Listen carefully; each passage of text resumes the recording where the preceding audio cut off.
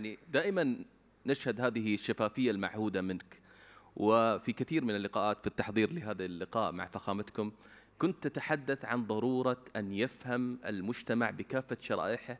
السياق يفهم أصل المشكلة. ذكرت تجارب مثل سنغافورة ذكرت كوريا الجنوبية وقلت أن الناس أو المجتمعات ترى الحل النهائي ولا ترى السياق. ما الذي قصدته فخامة الرئيس؟ آه، ده كلام جميل قوي. يعني عايز أقول إيه؟ آه، من كام يوم كده كنت موجود مع ال- الولاد بتوع ال- الأط- الأشبال بتوع الكورة. فولد منهم بيقول لي إيه أنا هبقى زي محمد صلاح.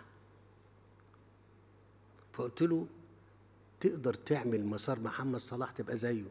اذا لو أنت عايز تعمل الت- التطور والنمو والتقدم اللي عملته كوريا الجنوبية اللي عملته سنغافورة اللي عملته أي دولة أخرى تقدر.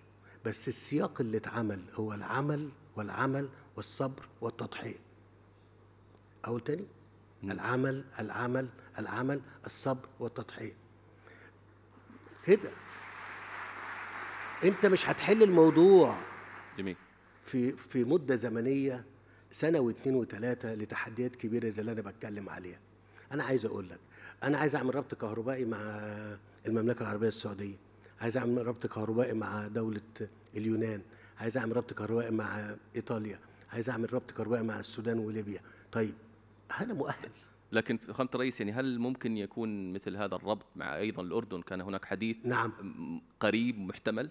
لا هو السؤال مش كده والإجابة بتاعته حاجة تانية. مم. أنا جاهز لده ولا لأ؟ قبل كده ما كنتش إيه؟ ما كنتش جاهز. دلوقتي أنا جاهز. كل التوفيق. لا أقصد كلمة أنا بقولها يا فيصل أنا جاهز أنا بقولها بكل تواضع مش ب... مش إن ما كانش ينفع أقول دي. ما أنت بتطلب مني كشعب كمواطن مطالب. بس أنا وأنا بحقق لك المطالب دي باخد مسار ده المسار اللي أقصده. المسار ده أنت معايا كمواطن مستعد تتحمل تكلفته تتحمل تبعاته تتحمل ضغوطه ولا لأ؟ هي دي القضية والحكاية. في البلاد آه، اللي ظروفها الاقتصادية مش قوية.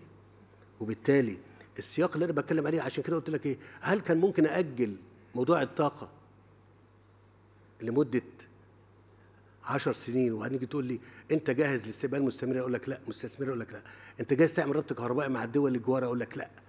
خلي بالك الربط الكهربائي هو عبارة عن ده التطور الكبير في الكهرباء في العالم. العالم كله عايز يبقى شبكة واحدة. عشان يبتدي يتبادل الطاقة طبقا لظروف كل بلد واحتياجاتها. طيب أنا هبقى جزء من المنظومة دي إزاي؟ وأنا القطاع عندي متخلف جدا. مش متخلف بس إن في احتياجات مواطن عايز يعيش ويتبسط إن في نور لأ. أنت عايز دولة تقوم. الدولة مقتضياتها حاجة تانية. نرجع تاني للسياق. اذا السياق اللي أنا بتكلم فيه هو سياق كل دولة طبقا لظروفها. مع فرضية نجاح السياق ده ودي مسؤولية مين؟ نعم. حكامها.